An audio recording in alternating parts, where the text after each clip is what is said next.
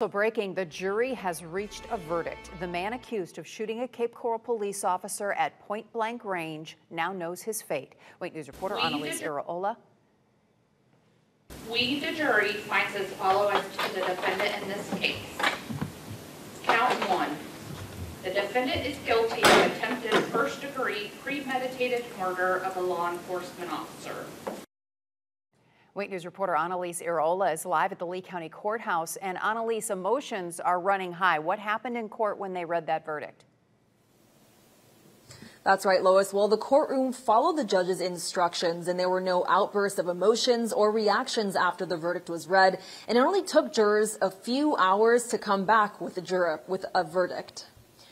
Yosel Rivera was found guilty of attempted first-degree premeditated murder of a law enforcement officer. Rivera, now 34 years old, was originally convicted of shooting Officer David Wagner when he was 19 years old.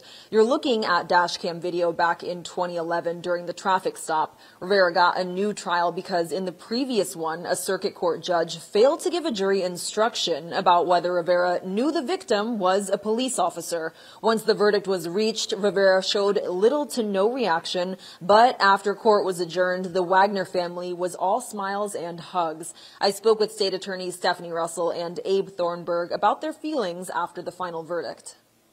relief. This has been a very long time coming. Um, the Wagner family has needed this for a very March long 12th. time, going on 13 years. Um, there's a lightness all of a sudden, and it's, it feels really good. It's been a, a very long fought battle, and you know we leave it in the hands of the jury. They got it right, and that's all we can ask for.